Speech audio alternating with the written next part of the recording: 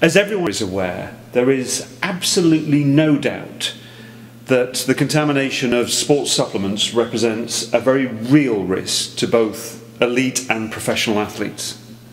The answer clearly lies in risk management programs combined with laboratory testing. We started testing for supplements in 2002. Since that time, we've tested over 40,000 supplements for the presence of banned substances, working with a range of, of, manufacturers drawn from countries all over the world. Manufacturers really, there's, there's no mandatory need for manufacturers to have testing done, so they can set up and um, um, and produce supplements and provide those onto the market. Um, and there's no regulation around the type of testing that they need to have done.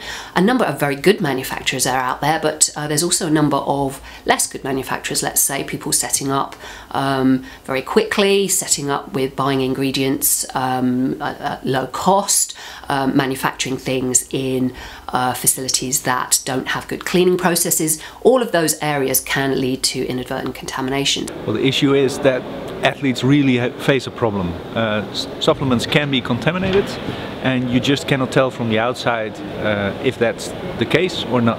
I think athletes have a right to use supplements um, as anyone in society. Uh, supplements are a part of society. And there's also a fundamental issue here that we ask from athletes to perform to the best uh, of their abilities.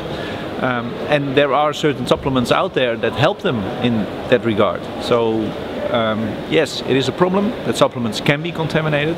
And if you like sports, you should try and do something about it an issue with um, sports supplements, a major issue for any athletes that are taking these supplements that, that run the risk basically of failing a drugs test through no fault of their own, through inadvertent contamination of the sports supplements that they're taking. There's always a concern. Um, it's something that we're aware of in our programme, the coaches are aware of. It's just a matter of minimising risk. When I'm competing, I don't buy supplements abroad. If I run out, um, I'd rather do without my supplements than, than take the risk of buying something abroad and not being aware of, what, of what's in it. Back in 2007, 2008, we purchased a range of sports supplements from the US and the UK markets and tested those and found that between 10 and 25% of those supplements were in fact contaminated with banned substances that would have caused somebody potentially to fail a drugs test. The problem, the negative, is that the athletes themselves really need security because they don't know where to turn to when it comes to taking supplements. They are afraid that if they take a product that it contains a banned substance and that could have